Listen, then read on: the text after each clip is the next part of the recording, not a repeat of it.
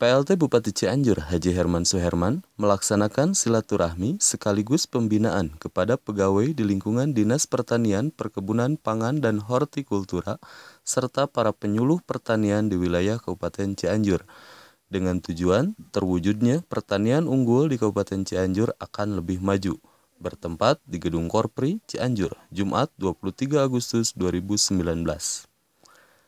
PLT Bupati dalam sambutannya berpesan kepada para pegawai di lingkungan Dinas Pertanian Perkebunan Pangan dan Hortikultura serta para penyuluh pertanian di wilayah Kabupaten Cianjur supaya melaksanakan tugas sesuai aturan yang berlaku.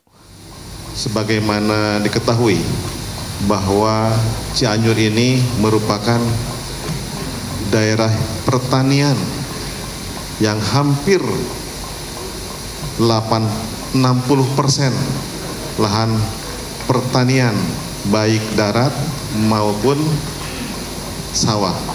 Untuk itu saya ingin mengajak seluruh jajaran Dinas Pertanian, Perkebunan, Pangan, Hortikultura kiranya ke depan harus lebih ditingkatkan kembali.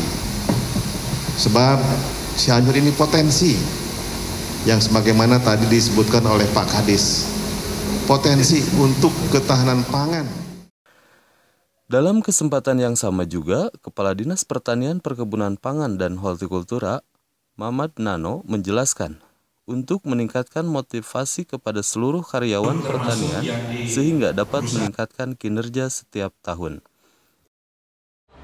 Ya, uh, Alhamdulillah acara ini merupakan acara pembinaan dari Bapak Bupati Kabupaten Cianjur seluruh personil atau karyawan dinas pertanian.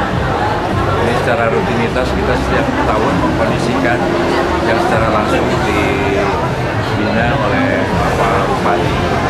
Ya dalam rangka meningkatkan motivasi, ya, terus kerja juga sehingga seluruh personil ini bisa meningkatkan kinerja dalam setiap tahun. Pada kesempatan tersebut, PLT Bupati menyerahkan cindera mata sebagai tanda penghargaan kepada para penyuluh pertanian yang telah purna bakti atas pengabdiannya selama menjalankan tugas. Ya, orang